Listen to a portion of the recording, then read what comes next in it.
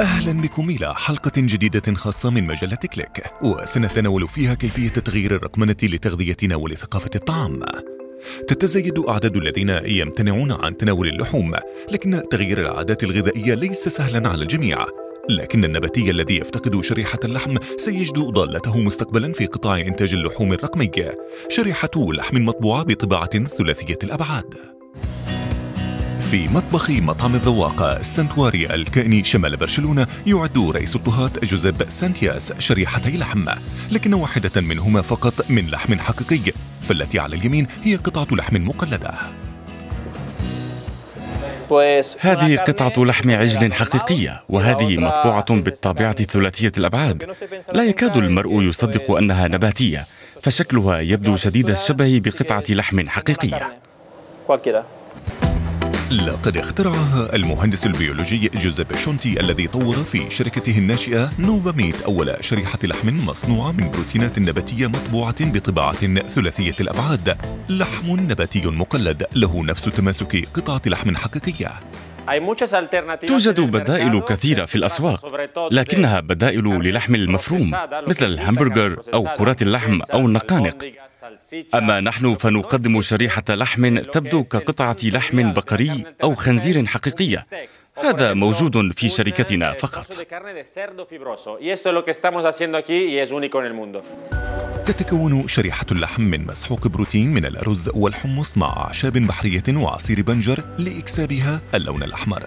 يجري ضغط الكتلة لألياف دقيقة في الطابعة الثلاثية الأبعاد. ما زال الأمر يتعلق بنموذج أولي تحتاج طباعته من 20 إلى 40 دقيقة.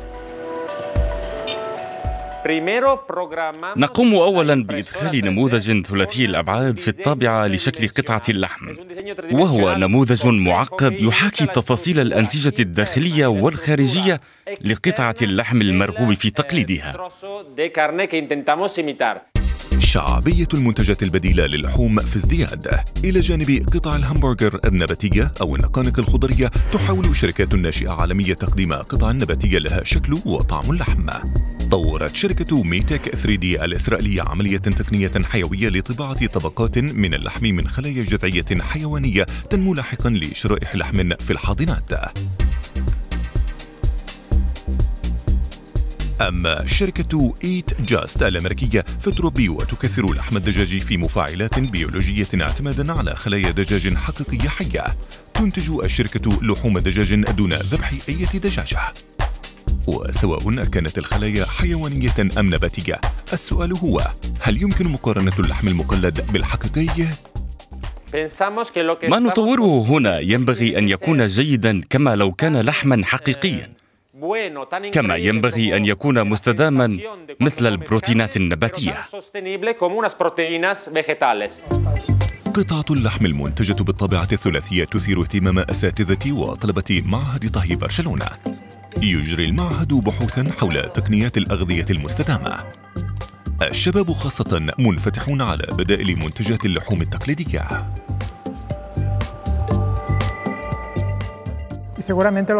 سنعاصر وجود أشكال مختلفة من الإنتاج. لا أعتقد أن اللحوم ستختفي فقط بسبب وجود بدائل لها. لكن استهلاك مصادر البروتين ومنتجات البروتين الأخرى سيكتسب شعبية متنامية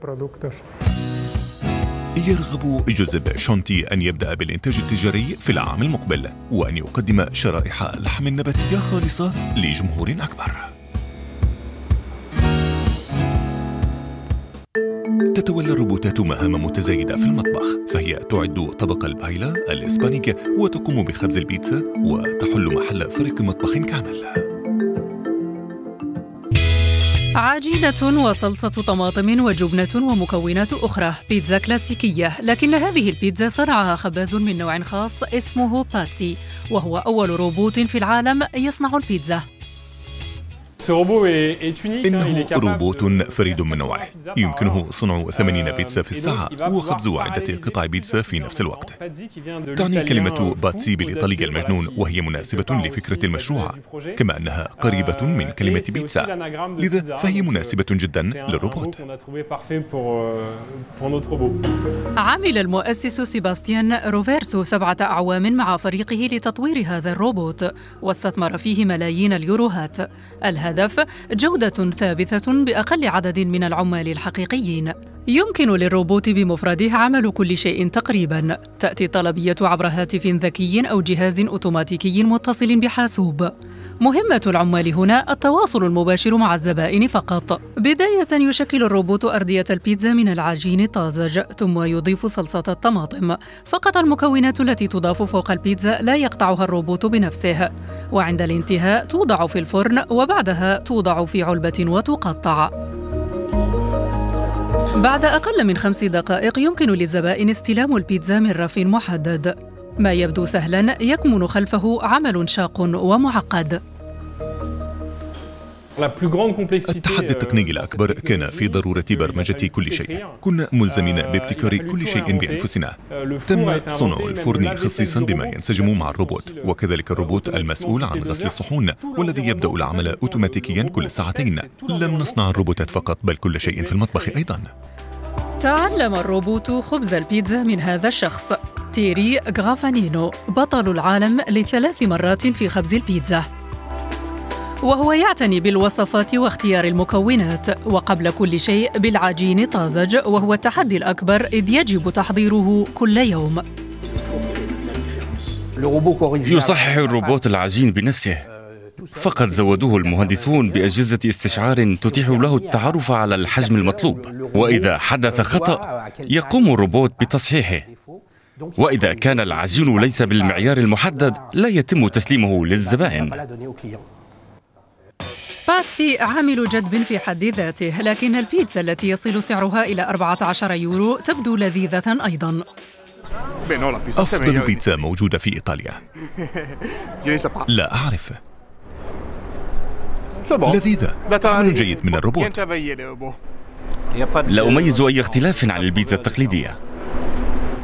لا ينبغي أن يعوض باتسي في أي حال من الأحوال خبازي البيتزا الكلاسيكيين. ببساطة يعتبر تيري الروبوت طريقة جديدة إضافية لصنع البيتزا.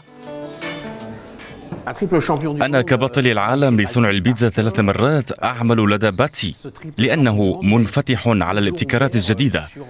نحن نعيش في عالم سريع. فلماذا لا تتطور البيتزا أيضا؟ في العاصمة الإسبانية مدريد يحاول روبوت الشركة الناشئة بي آر 5 تحضير طبق أرز حسب الطريقة البايلا الإسبانية. تعليم الآلة ما يحضر في المطبخ الإسباني منذ قرون أمر يثير الجدل. في بلدنا. يعتبر موضوع الأرز والبايلا مثيرا للجدل إلى حد ما ونحن نعلم ذلك لكننا تلقينا تهنئة على اختراعنا من الخارج. عندما نقوم بطهي طبق بايلا مع عائلتنا ولأصدقائنا فهذا شيء مختلف وليس هذا ما نسعى لتحقيقه باستخدام الروبوت أيضا. هدفنا هو إمكانية أن نأكل في أي مكان في العالم نفس طبق البايلا الذي نأكله في بلدنا. وبالفعل أبدت سلاسل الفنادق والمنتجعات في اليابان مثلا اهتمامها بروبوت البايلا والذي يمكنه قريبا إعداد أطباق البايلا حول العالم بنفس طريقة تحضيرها في إسبانيا فهو يعرف الحركات الصحيحة لتقليبه والوقت المناسب لإضافة المرق. حتى أن بإمكانه التعامل مع حركات هز المقلاة الخاصة أيضا يحتاج الناس فقط إلى تحضير المكونات ووزنها فقط ليتولى الروبوت بقية العمل. ماريا مونوز طباخة بايلا وقد فوجئت بالنتيجة. إنه مذهل. مذاقه رائع وقد فاجأني طعم الأرز. والآن يعمل مؤسس الشركة إنريكي ليلو على المشروع التالي وهو وجبة مؤلفة من خمسة أطباق لكبار الطهاة هذا الروبوت في ريغا عاصمة لاتفيا يتقن تحضير مئات الوصفات تريد شركة روبو إتس إحداث ثورة في صناعة الوجبات السريعة من خلال مطبخ الروبوت المستقل والأكثر تقدماً في العالم. الإصدار الحالي لنظامنا يمكنه في الواقع الطهي وتلقي الطلبات وتقديمها وتنظيف نفسه بشكل مستقل تماما فهو في الأساس مطبخ مستقل تماما كل روبوت هنا يعمل محل ثلاثة إلى خمسة موظفين. ما يسهم في حل نقص مشكلة نقص العاملين ويوفر المال. إذا استبدلنا فقط هؤلاء الأشخاص دون تغيير شيء آخر فسوف نوفر ما لا يقل عن 200 ألف يورو في العام.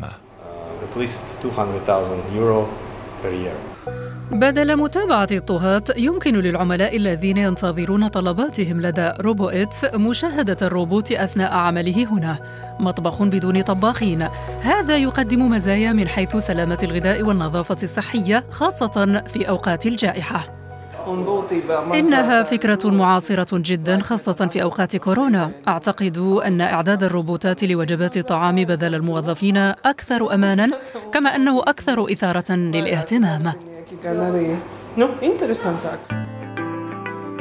شهد توصيل طلبيات الطعام بدل الذهاب إلى المطاعم انتعاشا كبيرا أثناء جائحة كورونا. وعادة ما تستخدم الدراجات والسكوتر لهذا الغرض. والآن أصبح هناك طائرات مسيرة تتولى هذه المهمة في جزيرة إيبيتسا الإسبانية. هذا المحار وهذه الشمبانيا على وشك الإقلاع بطائرة مسيرة طلبية لأحد اليخوت الراسية قبالة سواحل إيبيتسا يهتم العملاء هنا بالمواد الغذائية الحصرية. غالبا ما يتم توصيل الشمبانيا والمحار والوجبات البحرية وأنواع الأطعمة الحصرية. ما يريده العملاء في النهاية هو الخدمة الحصرية والمتعة والتجربة قبل كل شيء. شركة درون تياخت الناشئة. تقدم هذه الخدمة بالتعاون مع المطاعم الموجودة على الساحل. يمكن للطائرات المسيرة حمل طلبيات يصل وزنها إلى خمسة كيلوغرامات ولمسافة كيلومترين. هنا يتسلم العميل طلبيته بعد دقائق فقط. يستغرق الأمر من دقيقة ونصف إلى دقيقتين ونصف للوصول إلى القارب. ما يبقي المشروبات باردة والطعام ساخنا. يجري طلب الوجبات والمشروبات عبر تطبيق. يعطينا التطبيق إحداثيات اليخت ورقم الهاتف وتفاصيل المركب لتطير الطائرة المسيرة بهذه المعلومات إلى وجهتها تلقائيا. حاليا يتم تسليم طلبيات الطعام فقط ولكن قريبا يجب أن يكون العملاء قادرين على الحصول على كل شيء من كريمات واقية من الشمس وحتى الأدوية والتي يتم تسليمها إلى اليخت بواسطة الطائرة المسيرة.